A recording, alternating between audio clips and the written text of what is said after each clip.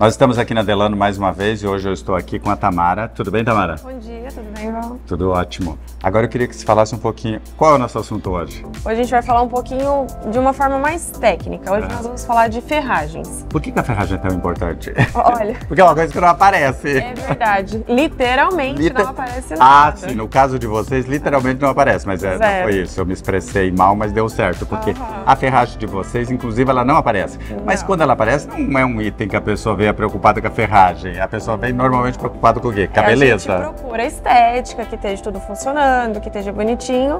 Mas a ferragem é a alma da gaveta ali, por exemplo, porque se ela enroscar, se ela emperrar, é só dor de cabeça. De qualidade, Exatamente. a beleza vai Não água abaixo.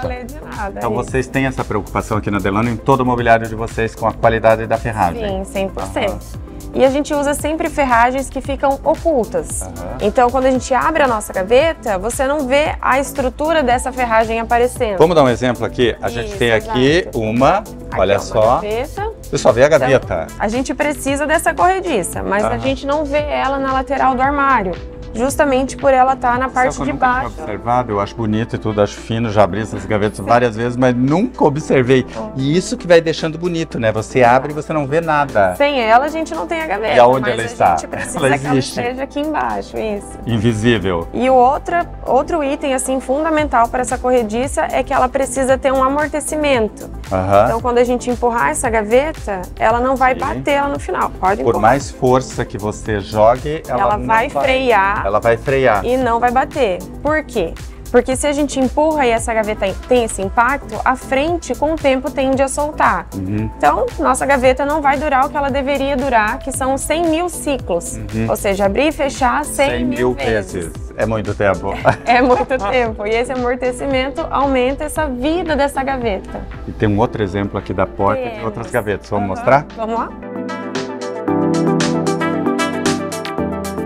Isso aqui é um armário em pé. Aquele era uma peça baixa. Uma peça baixa. Isso aqui a gente tem como se fosse uma um dispenseiro. Ah, Então aqui a gente tem uma sequência de gavetas. alturas diferentes, até modelo tudo. Isso, isso aqui a gente consegue editar em projeto. Aham.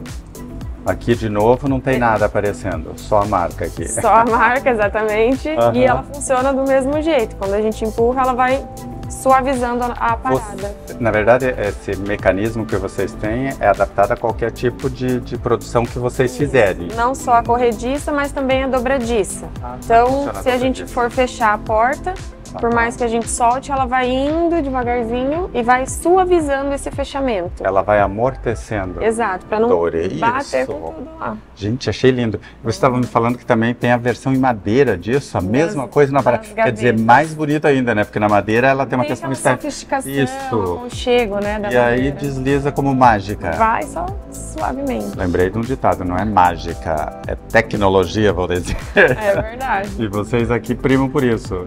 É fundamental, né, para que o mobiliário não supra a necessidade dele só de vestir a Estética. casa lá, Aham. estética, mas também Qualidade. dure bastante tempo, né? Viu? Então, quando você estiver construindo ou reformando e procurar um imobiliário de qualidade, esses detalhes são super importantes. Por isso que é importante o showroom, né? Para mostrar essas diferenças que a princípio a pessoa às vezes não tá ligada nisso, né? É, Ela quer beleza. Mas aí mostrando esses detalhes, é por isso que é uma grande marca e é por isso que tem qualidade. É isso? Mesmo. Muito bem, obrigado pela sua participação. Muito obrigada.